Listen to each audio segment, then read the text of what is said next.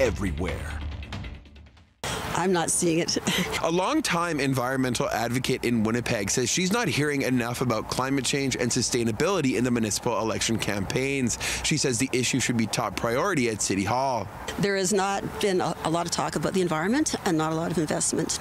So I would like to see a whole lot more. Pam Lusenku with Outdoor Open Recreational Spaces Winnipeg says the environment and the role the city can play in combating climate change should be front and center. It, it's so important because, um, for one, we're losing it and we're losing our biodiversity, we're losing our animal, our animal or wildlife population, we're losing our green corridors that we can access to uh, enjoy uh, moving around the city. Former Winnipeg City Councillor Kevin Klein, now running for mayor, was the councillor who introduced the motion for a thousand acre master green space plan, and he says he'll continue to advocate for the cause if elected mayor.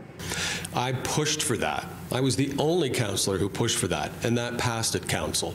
And that was because of the outcry from the public wanting more park space, more green space. I listened. Klein says the city needs to take a more modern approach to the environment overall. Every major city in Canada has composting except Winnipeg. And I'm really tired of us lagging so far behind of major cities that we're, we're acting more like a small town, and we should be acting like the city we are. Candidate Glenn Murray calling for more funding from the province to build a more sustainable Winnipeg. To deal with climate change, which is the other major reason for doing this, you're going to need the financial resources. The city right now does not have the financial resources to manage the energy, transportation, and building transformations required to create climate resilience and to reduce our emissions down to effectively net zero within the next 20 years.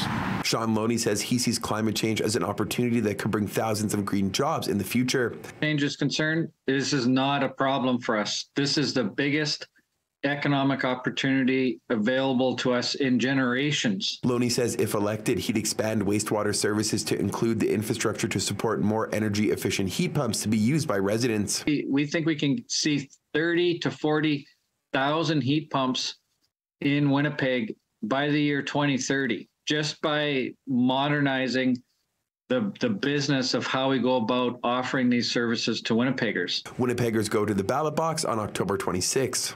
In Winnipeg, Morgan Modjeski, City News.